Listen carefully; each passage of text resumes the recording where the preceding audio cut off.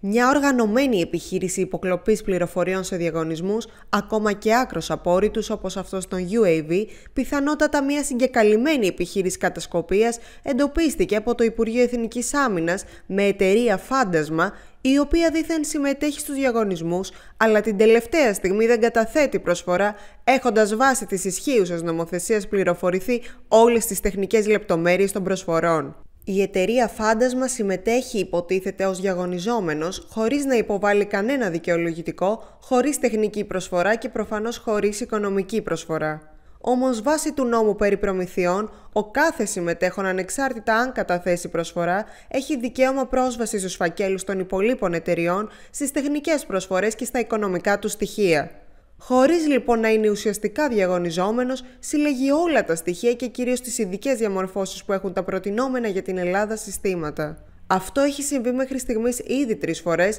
αλλά το καμπανάκι κτύπησε στο ΙΠΕΘΑ όταν στο άκρος απόρριτο πρόγραμμα των UAV, όπου κατατέθησαν προσφορές από διάφορες εταιρείες για εναέρια μη επανδρομένα συστήματα προσαρμοσμένα στις ελληνικές ανάγκες, εμφανίστηκε συγκεκριμένη συμβουλευτική εμπορική εταιρεία μέσω του ηλεκτρονικού συστήματος διαγωνισμών, γνωστός ως SEDs. Όταν όμως αντελήφθησαν στο Υπουργείο Εθνικής Άμυνας ότι η συγκεκριμένη εταιρεία εμφανίστηκε ως υποψήφια, ήταν πια αργά. Οι δράστες είχαν καταφέρει να αποσπάσουν όλες τις τύπης ανταγωνιστικές προσφορές και λέμε τύπης γιατί η συγκεκριμένη εταιρεία δεν κατέθεσε ποτέ προσφορά και άρα όλοι οι φάκελοι των υποψηφιωτήτων για τα ελληνικά UAV με τις τεχνικές και οικονομικές προσφορές έχουν διαρρεύσει.